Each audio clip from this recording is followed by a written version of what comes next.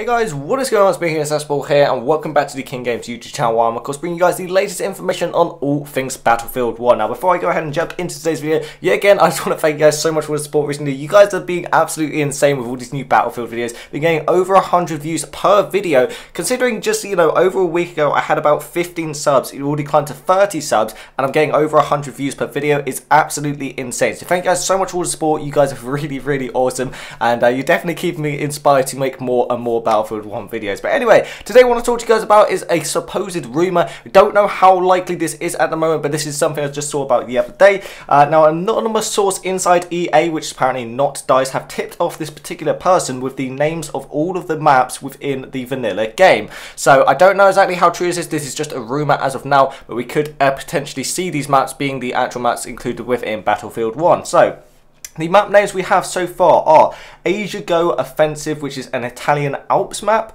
Gaza Sands, which is a desert map, so obviously we're going to have more desert warfare like we did in Battlefield 4, obviously really, really awesome. Uh, Siege of Damascus, which I'd assume is some sort of desert urban sort of map. Uh, Stalemate, which sounds like a Flanders Field kind of map, so obviously they are going to have particular maps which are probably going to be based within real World War One locations, obviously Flanders Field, a famous location used within World War One, uh, as well as that we've also got Anzac Cove, which sounds like a Gallipoli. I'd assume that D-Day map, LevelCap mentioned, and the one with the battleship ruining the coastline. So obviously we saw in the trailer, there was obviously a battleship. That could be the map called Anzac Cove. Uh, next map here is called Garden Twilight. Obviously, don't really have any idea what sort of map this could be. Uh, you know, it's just a name Garden Twilight. I don't really know what that could sort of entail. Uh, we then got Argonne Shade, which is probably the forest map which we saw within the trailer. We've then got Operation Castlewick, um, which obviously maybe references something to do with the campaign or something. Don't really know what it could do with. Don't think we saw it in the trailer or anything.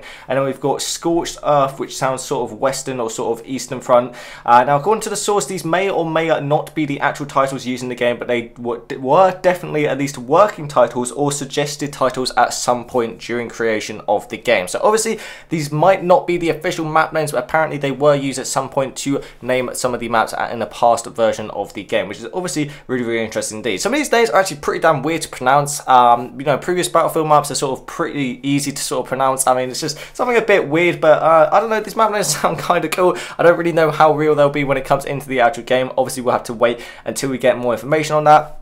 Uh, the only other bit of news I've got for you guys today is talking about Battlefield 1 game modes. Now, uh, in, they haven't actually confirmed any official game modes that will be playable yet. Obviously, I'd imagine Conquest would obviously return within Battlefield 1. It is like one of the biggest modes within Battlefield games.